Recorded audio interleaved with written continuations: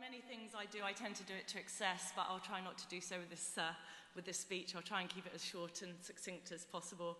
Deputy Vice, Vice Chancellor, staff, members, graduates, and guests, thank you so much for the incredibly generous introductions and bestowing me with this wonderful, wonderful honour. I am so thrilled to be standing up here today, receiving this uh, honorary doctorate from a city that myself and my family are so proud to call home. Can I begin by congratulating all the graduates? A university graduation is a hugely significant occasion, and I'm honoured to share this very special day with you and your families. As Professor Brady said, I was fortunate to be able to make a career out of sheer masochism, otherwise known as Ironman triathlon. And when people meet a professional athlete, I think they assume that they've been doing sport since they were this high. Not me. I wasn't really known for my sporting prowess. In fact, the only thing I, um, I actually won was the, the local uh, village fancy dress competition. Incidentally, I was dressed as a starfish, and my brother was dressed as a daffodil. I beat him. Um, hardly the stuff of, of sporting legends. Growing up, I channeled all of my drive, all of my determination, some would say obsessive compulsiveness, into academia. All I wanted to do was to get good results at school and then go to university.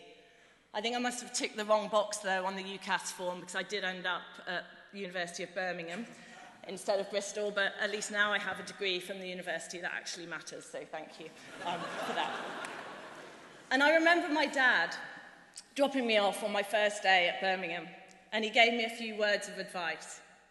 And they were to seize every opportunity and make your mark for all the right reasons. And I tried to heed his wise words then, and I still do even now.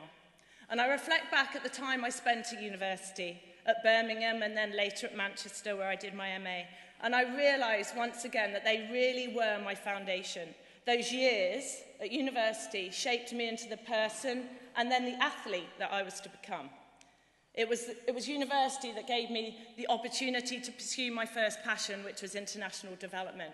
It was my educational foundation that gave me the opportunity to go and live and work in Nepal managing water and sanitation projects. And it was in Nepal that I first started doing endurance sports, mountain biking, um, cycling 1,200 kilometers across the, across the Himalayas via Everest Base Camp.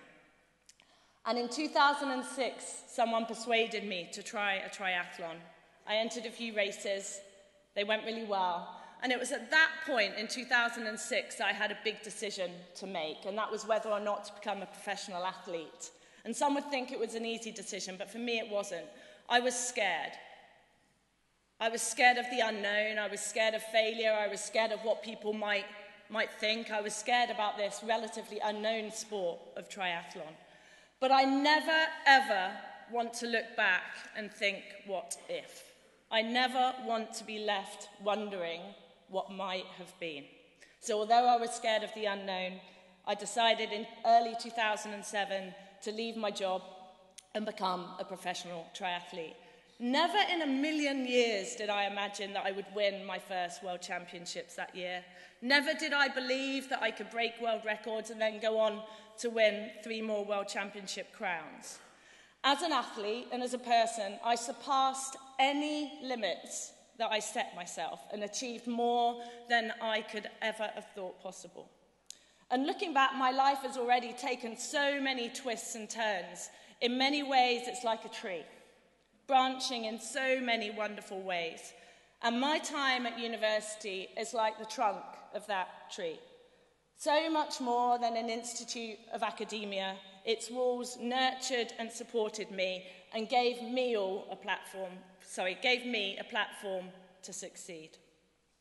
And now I'm a mother to a wonderful one-year-old daughter. And I think, what are the key life lessons that I want to impart to her, apart from the fact that she should go to Bristol instead of Birmingham?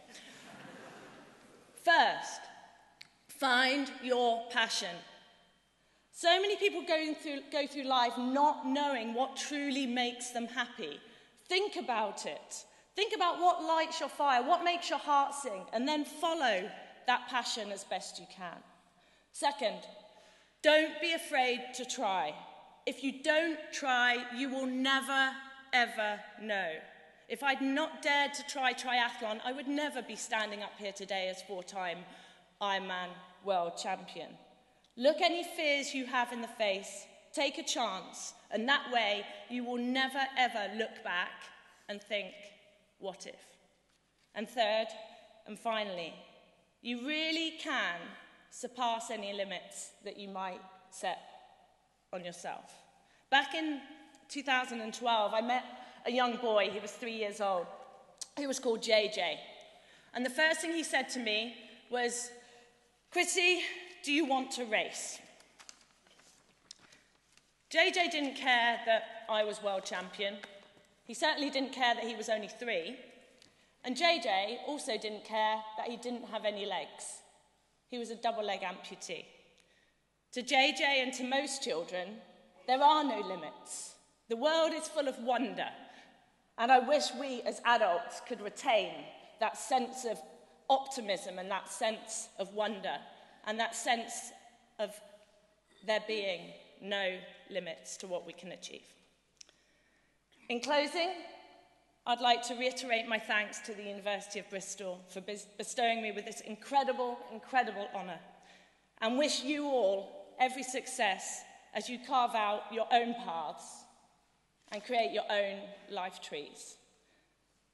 And in the words of my father, who sits here today, seize every single opportunity and make your mark on the world for all the right reasons.